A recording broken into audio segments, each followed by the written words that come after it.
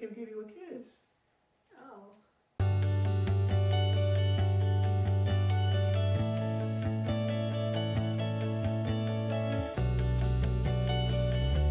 I'm Noble. I'm T. and welcome to our channel. Yay.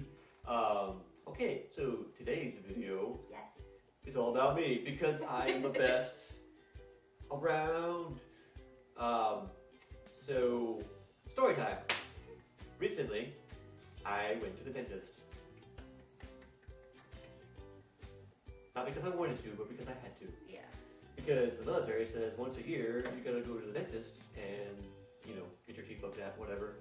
Um, because apparently having good teeth allows you to be deployed to locations where you get shot at. I, I, I don't know, but anyway, it's true. Like, yeah, seriously. Yeah, it's, it's dumb, but whatever. Anywho, um, so I went to the dentist and uh, they did a normal yearly checkup, whatever. And I've been for ever. For a while, I've had one of my canines on this side. Um, for some reason, when my tooth came in, it came in behind one of my other teeth. So I went, I went, I, as I was in there, and the dentist was uh, cleaning and doing whatever he was doing, he's like, so what do you want to do about this tooth? You can either um, get braces or uh, get it removed. And I was like, well, considering I'm almost going to be 27 and I haven't gotten braces this this yet, I'm not going to get braces because the Air Force they make you pay for your own braces. Oh, And wow. I don't know if you know anything about braces, but they are expensive, They are. very expensive. And I'm like, eh, dude. But so I was like, okay, would I be able to remove it? Like, is that a viable option? So he looked, did his dentist thing, and he's like, yes, we can remove it. So that story out of the way, I come, I, I had to wait a few days, uh, like I think it was next next week or whatever. Yeah. But I went in and they told me beforehand that I had to not eat for six hours and then also had to have a driver to drive me back home because I was going to be under the influence of drugs that would put me to sleep or whatever. So um, we go in there, and you know I check in, and we're there way early because I, I, I thought that the appointment was at ten and it was at ten thirty. 920. Or nine. Yeah. We yeah. got there at 920. I thought it was at ten, but it's actually ten thirty. But um, so we sat there for a little bit, which was our own fault, whatever. But uh, eventually, the nurse. Is that that called as a dentist? As a nurse? Or dentist assistant. Assistant, dentist assistant. A- Anyway, the dentist peep, uh, not the doctor, but anyway, um, come out and said, you know, said my name, and I got up and everything. And she made sure. She asked me if I had. When's the last time I ate? I told her, and I go back there, sit on the little dentist chair, and um, they start. Uh, there's there was two uh, dental assistants. Uh, one, from the sounds of it, was like a brand new chick straight from tech school. Right. And in case you don't know, tech school in the Air Force is what you go to after basic training to learn your job. It- it's essentially what it is. Each one's a different length, of course, depending on what it is. Uh, but anyway, um, so they were talking back and forth for a little bit, and, and I, I would imagine, I think it was uh, like a good 30 minutes of her of this listening to them babble back and forth between themselves. And as they were doing this, uh, one of them asked me to lift my shirt so they could put on probe things to do whatever. And I swear, I, I don't know about you guys, but I have a pretty hairy chest. And I swear, this chick straight up put these little sticky things on the most hairiest parts of my chest. And I, there's like five of them. It was like boom, boom, boom. It was just like, it was horrible trying to get them off afterwards. That was for the heart monitor, I think. Yeah, heart monitor, either way. Yeah. But, and then also on top of that, they tried to do the little thing they put on your arm and it reads your blood pressure, but for some reason the machine wasn't working. Um, I don't know. So they said they put on a little finger thing that measures your uh, heart rate or whatever. I guess I don't know. But so the doctor comes in, he makes sure I know what who he make he makes sure I know what I'm getting into and stuff like that, yada yada yada. And so then the fun begins. The nurse or doc dentist assistant decides to go for a vein in my hand to try to put the medication into my body to knock me out and get rid of the pain or whatever. So when she goes into my hand, um, apparently she failed to realize there was a blood another like a smaller blood vessel above the bigger vessel you can see. And so when she poked me she hit that one and i started like bleeding. Oh. it was bleeding pretty bad. And she's like oh i'm sorry. And i don't know if you've ever gotten anything done with the back of your hand but it's pretty sensitive It is. and it hurts. i was just like ow. I was pretty annoyed at that point. So she's like well, then i'm just going to go into the base pit of your arm or you know whatever this is Oh yeah, right. called. And so they they make me do the whole ball thing where I can see see a vein. And so uh, only one for some reason they could really see was like really small ones. So she's like, okay, I'm gonna have the doctor do this because he's more experienced or whatever. So he goes for it and he misses the first time because it's such a small vein. Oh my goodness. And then he well he didn't realize he missed and he started injecting some of the stuff. So I get like a little little ball of fluid in between my arm skin and my muscle or whatever, which felt weird. And he's like, "Oh, don't worry about that. It'll dissolve in your body or whatever. You'll be fine." Creepy. And but yeah, so he poured it out, and then he tried again, and he actually got it.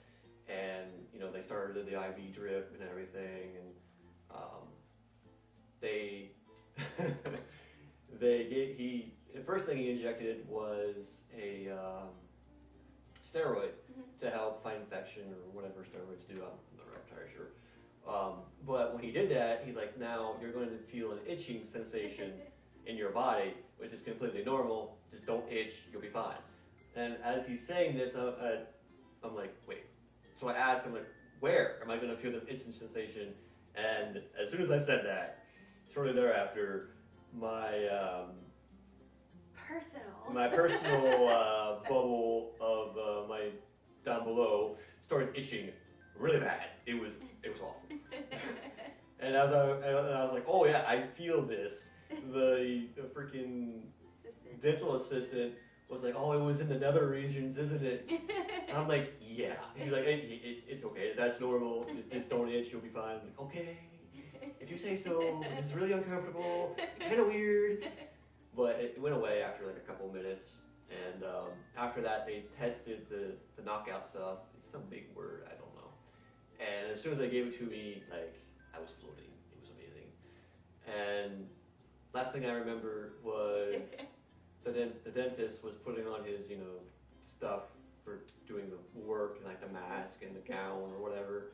And he was sitting into the chair. I was being lowered down and and he was like rolling back behind me. And the next thing I know, um, my wife is in, is in in the room and they're telling her different things. I don't remember entirely what they, they were saying, but um, so I was I was totally lost for a little bit. I was totally confused because I, I was just like, what what?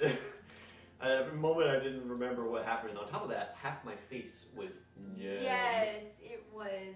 It So it looked like I had like a stroke or something because literally half my face I couldn't control. Like I would smile and like half my face would, would smile, the other half move. wouldn't do It anything. would not move. It was just there. But so I stood up and it was like a little bit wobbly, whatever, and proceeded to walk out of the room. And the dental assistant was like, you know, per regulations, we have to put you in a wheelchair and push you out. And I was like, okay, whatever. So I sat in the chair, and as she bent down to like put down the little footstools mm-hmm. you put your feet on, I raised my feet, and as I rose my feet, I was like, wee!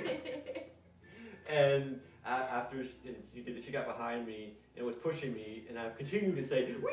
oh my goodness. And then we went outside. My wife pulled up in the in the car, and I remember getting out of the chair and the the nurse or whatever like helped me around to the door. I sat down into the car, and next thing I know, we're home. And uh, yeah, for the next couple days, I was numb and it was awful. so I'll fill you in on what he doesn't remember. So when I talked to the dentist, he just went over the medications, what he can, can't eat, stuff like that, basics. The dentist told me, he's like, now, right now, he probably won't remember this at all. And Caleb's like, yay! he's just so excited. And um, the dentist just kind of laughed at him. Um, I, I got home safely, and then Caleb just kind of stayed in the seat for a little bit, the passenger seat. And I'm like, so what? You want to go? and he, he got up and he kind of walked like a zombie. He was just there.